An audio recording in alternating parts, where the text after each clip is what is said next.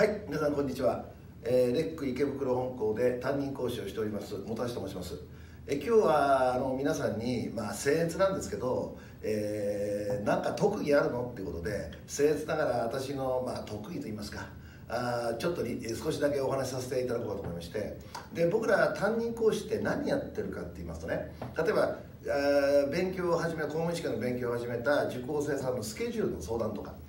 でそういう相談の中で、えー、なんですか、えー、その事業っていうのは、まあ、あのカリキュラム通り進みますよね。だけどその通りいかない人も当然出てくるわけよ。だそれはその人が怠けたとかそれもあるけど例えばその急に部活が忙しいとかね。それからサークルが忙しいとかそれもあるでしょ。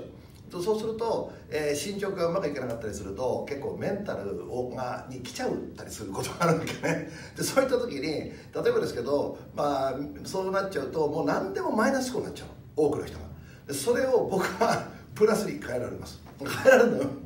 まあこの1分ぐらいの時間だとなかなか具体的な話できないんですけどまたそうですね。あとはあの面接のネタ。まあ、ネタっていうとなんですけどそのまあ一般に学生さんがやる面接のネタって、まあ、僕も30年間あ30年やってるんですよ、まあ、なんでこういう高齢者になっちゃったんですけども30年やっててねやっぱ皆さんあらすじなんですよ。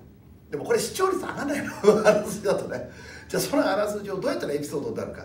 まあ、こういうのはあの、えー、多分多分というか比較的というか多分得意かな。ちなみに昔すごい強豪がいました。その強豪というのは超高学歴。ところが社会性のあるネタがそれをですね半年かけて作りました。まあ一応どういう話かってねまあちょっとこの世ではできないんですけど一応ね、えー、東京都を受けて東京都の面接官は「おお」って言ってくれそうです。まあぜひ皆さんあのももし何でしたら興味があるようでしたら遊びにでも来てください、えー、またもし受講相談ってことでしたらぜひいつでもお待ちしております。ではまた皆さんお会いしましょう。失礼します。